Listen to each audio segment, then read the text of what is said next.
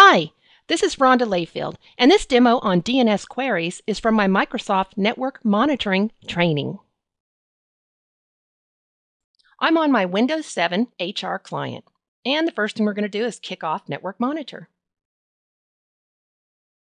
We'll choose a new Capture tab, and the first thing I'm going to do is close that Network Conversations pane and maximize Network Monitor.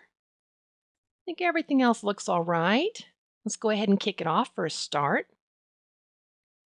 And instead of diving right into going to a website, the first thing I want to do is show you. Look at that, we've got some DNS queries already. Busy, busy, busy. Let's go out to a command prompt and clean up that screen just a bit. And I'm going to ping WBC DC2 in the wired brain domain. Notice that we're getting a reply from 10 10 10 51. So what we've already got is the name resolution has been resolved from the Wired Brain Coffee DC2 WBC DC2 to 10 10 10 51. If we go look at that in our trace,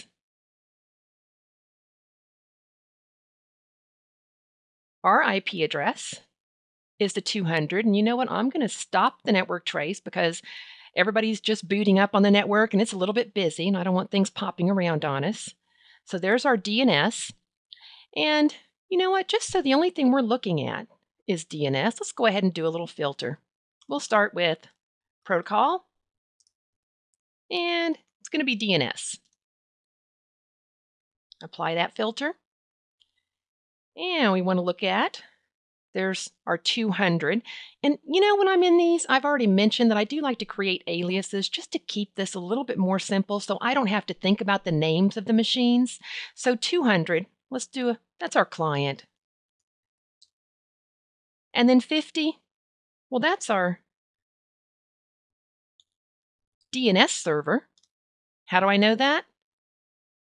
Back at the command prompt, if I do an ipconfig all, I have this client set to be DHCP. You can see I've got DHCP enabled to set to yes.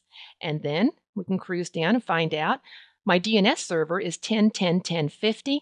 That's because I've set up my DNS option. I believe it's option 006 um, in DHCP telling all clients the IP address of the DNS server as well. So that's how he knows who the DNS server is. So back to our network trace. Let's see where our client starts out here. We're doing just some regular DNS queries here upon boot. And you know what? I don't really want to see the time date, the time offset, process name, Let's get it down so I can see the important information.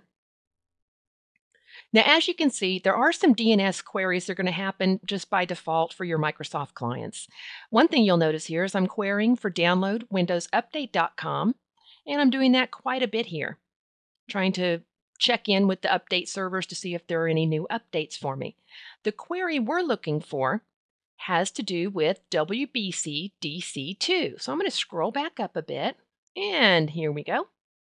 There is our query for wbcdc2.wiredbraincoffee.com. So let's open that up and I'm going to scroll that up just a bit so we can get a little bit more space down here. Let's take a look at the frame details. So I'm going to close up the hex details pane because we're really not interested in that right now. Let's take a peek down here. What we're looking at is I can tell it's IPv4, not 6. Got my destination address is the MAC address of my DNS server, source address, MAC address of this client.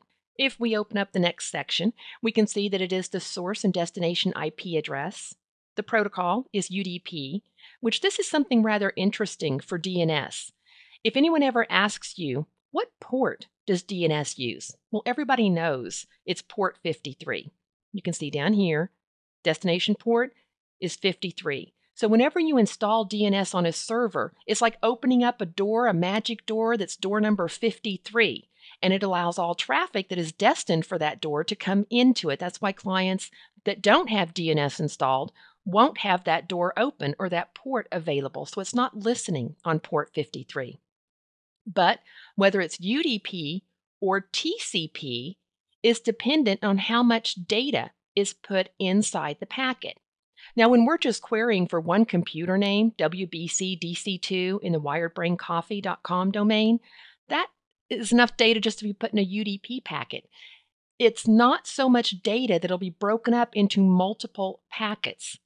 Most of the time, your queries going to DNS are going to be UDP because they're relatively small and the query itself can fit inside a UDP packet. But when the answer is given, a lot of times, if we had more than one machine out there, and let's just take the scenario of asking for all the SRV records from DNS to try to find out for our clients who our domain controllers are in a Microsoft domain. In that scenario, we may have more answers that can fit inside a single packet. If you do have more answers that can fit inside a single packet, that'll be switched from UDP over to TCP. So there's error checking to make sure that all of the frames that were sent to the client actually get to the client. If they don't make it, then they're resent from the server again. So it's kind of a trick question if someone ever asks you what port is it UDP or TCP 53 for DNS because it's actually both. So notice that I did mention this is UDP and our, our destination port is 53 going to the server. Let's close that up and let's come down and take a peek at the actual query itself.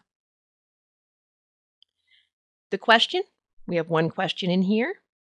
The question name is wbcdc2.wiredbraincoffee.com. It's an A record, which simply means it's a host record. That's all it is. And we already know it's an IPv4. If we look at the response, let's close that up. The next packet you can see is from DNS to our client, and it actually says response. So we'll send out the query and we should get a response. If we look at that, once again, destination, source, MAC addresses, source, destination IP addresses. This is a UDP packet, so it's not so big that it's going to be put into TCP packets. Here's the source port 53, destination port, going back to the client. A lot of people call these ephemeral ports. They change all the time. So this could be a different port every single time the client attempts to talk to the DNS server. The only port that will always be the same is the port that the client is sending the query to, which is going to be 53. Now this is a standard query response, and you can see right here from the just from the heading information, it was successful. And if we open this up, one thing that I've always found interesting is you get to see the question as well. So you don't really need to go in and find the query. If you just look for the response, that you're looking for, you'll also have the question that was asked. So our question was, we're looking for the IP address of WBC DC2.wiredbraincoffee.com. And our answer is 10.10.10.51. Now there's one more piece of information I'd like to show you inside this data frame. Scroll back up. I'm going to open the flags. Remember, I talked about whether the answer was authoritative or non authoritative. You should be able to see that right here in the AA flag. If it's flagged as a 1 in this bit, it is authoritative. If it's a 0 here, then it's non authoritative. Now, you may be wondering why authoritative versus non authoritative can be so interesting. What would happen if your internal DNS server performed iterative queries out on the internet, grabbed a resolution for you, cached it for 60 minutes. Then, the IP address that it just cached changed on the internet. Now, this doesn't happen often, but it doesn't have to happen too often for it to fail for your clients to no longer be able to connect to that IP address. So now, your internal DNS server has an incorrect IP address for a DNS query. So when your client asks for that information again, the server's not going to go out and perform those iterative queries, performing recursion again. He's just going to get the information out of his own little cache, pull it out of his back pocket, and hand it to the client. But the client will no longer be able to connect to that IP address because it's now been changed. So if you looked at the data packet and you saw that it was not an authoritative answer, what you might want to do is dump the cache on the DNS server, dump the cache on the local machine, and then perform the DNS query again. Thanks for watching. For more information regarding our training, please visit www.trainsignal.com.